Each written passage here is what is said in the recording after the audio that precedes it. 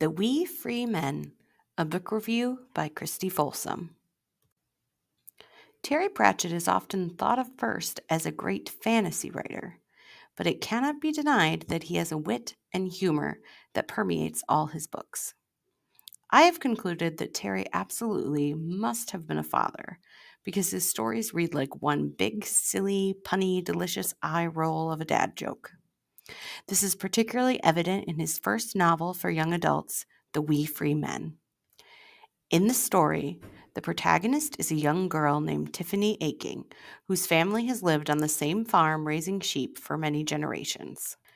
As her father says, the Aching family has always been aching to stay, not aching to leave.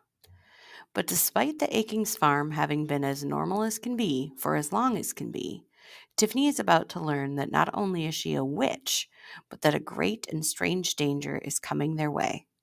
She sets off to stop it with the help of a talking toad, a frying pan, a band of rebellious six inch tall men in kilts, and a mystic mentor named Miss Tick.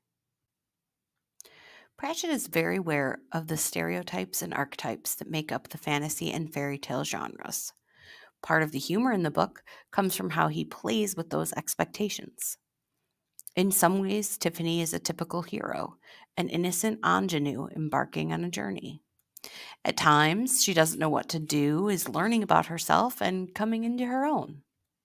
But even early in the novel, she's also able to defeat a headless horseman just by giving him a long, judgmental stare in the eyes eyes that he doesn't have, by the way, because he's a headless horseman.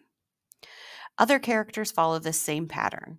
The warriors of the novel are certainly fierce and noble fighters able to hold their own, but they are also only six inches tall. One of my favorite subversions is Tiffany's grandmother, the caregiver archetype. We might expect a caregiving grandmother to be kind, soft, attentive, and traditionally feminine. Granny Aching is anything but. She smells of turpentine, clonks around in big old boots, and puffs on Jolly Sailor, a cheap and terrible pipe tobacco. Granny Aching is practically the town patriarch, more like John Wayne than a traditional grandmother.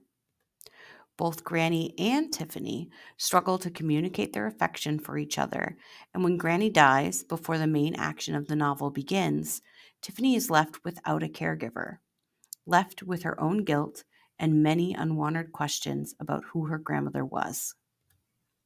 Yet throughout the novel, she relives so many special memories that make it clear that Granny was, and still is, a loving embodiment of the caregiver archetype in just a bit more of a non traditional wrapping. It's hard not to fall in love with the atypical characters of this silly, witty little novel. I very much enjoyed it, and I think anyone with a love of fantasy or humor would love it too.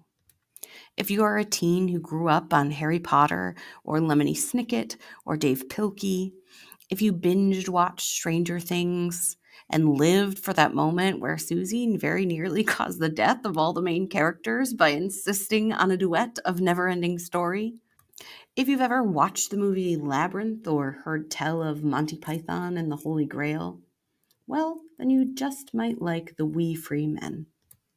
And the best part is, this is the first book in a five part series on Tiffany Aching within an even larger fantasy world of 41 Terry Pratchett Discworld novels. So give it a try. This mission, should you choose to accept it, means you've got lots of reading, adventuring, chuckling, and eye rolling ahead of you. The Wee Free Men was written by Terry Pratchett and published in 2003 by HarperCollins in New York, New York. I read the 2015 revised paperback edition, which was 352 pages long, cost $11.99, and has the ISBN number 978 0062 435 262. Thank you and have a great day.